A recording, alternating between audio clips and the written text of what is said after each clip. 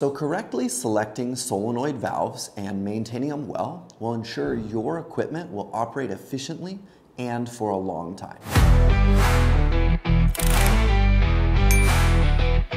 Hello everyone, does your equipment have problems such as failure to start or sudden flame out, medium oil leakage, or even other safety accidents? It's very likely that the solenoid valve is damaged.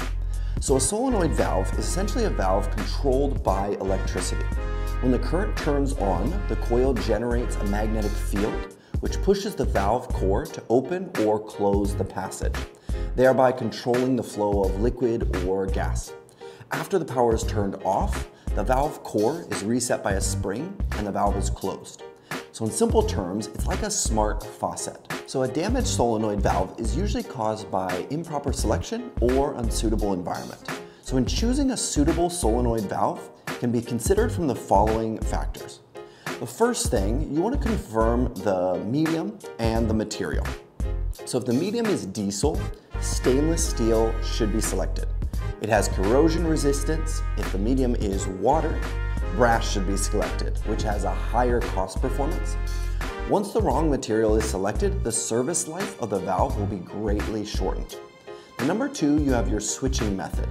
A normally closed valve closes when the power is off, which is safe, worry-free. It's mainly used in systems that need to automatically cut off the fluid when the power is off. It can ensure the safety of the system, prevent leakage. It's the mainstream choice. The normally open valve opens when the power is off. So it's suitable for systems that need to keep the passage unobstructed when the power is off or require the fluid to continue to flow. So don't make the wrong choice. So number three, we have environmental protection. So if the working environment is dusty or humid, you should choose a solenoid valve with a protection level of IP65 or above. So it must be waterproof and dustproof to ensure long-term use. In addition, pressure and flow rate must also be considered. Direct acting type is suitable for low pressure and low flow conditions, while pilot operated type is suitable for high pressure and high flow conditions. At the same time, the interface type and operating voltage must also match each other. The interface type, such as thread, flange, quick plug, must correspond to the equipment. The operating voltage must not be selected incorrectly, otherwise the coil will burn out. Let me summarize this for you. So number one, your medium and material. If your medium is diesel, you should choose stainless steel. If your medium is water, you should choose brass. Number two is your switching method. Do you need a normally open valve or normally closed valve when the power is off? Number three is environmental protection. So if you're working in a dusty, humid environment, make sure to choose a solenoid with a protection level of IP65 or above. Number four, pressure flow. So if you have a low pressure, low flow, then choose a direct acting type. If you have a high pressure, high flow, choose a pilot operated type. And number five, interface and voltage. Just make sure your interface and the voltage match the equipment. As long as you make sure to follow these points, you'll be good. But choosing a suitable solenoid valve is just the beginning. If you want your equipment to achieve long-term, stable operation, maintenance is also an essential link. If you don't know a lot about this, you can start from these following points. So number one, clean the valve body and the internal components regularly.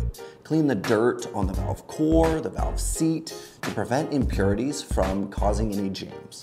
Number two, check the status of the seals and connecting parts. So replace any aging seals regularly, check whether the bolts are loose to prevent liquid leakage, any internal failures.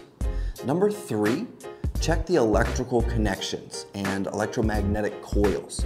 Make sure the wiring is firm, there's no short circuits, and measure whether the voltage actually matches.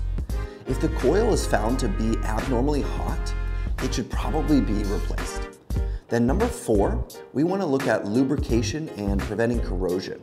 So use oil to reduce any wear, spray rust inhibitor on the outside of the valve body to make it adapt to harsh environments, and then number five, avoid overload and frequent opening and closing. You want to select valves with appropriate specifications and matching pressure and flow to avoid the mechanical wear caused by frequent actions. So correctly selecting solenoid valves and maintaining them well will ensure that your equipment will operate efficiently and for a long time.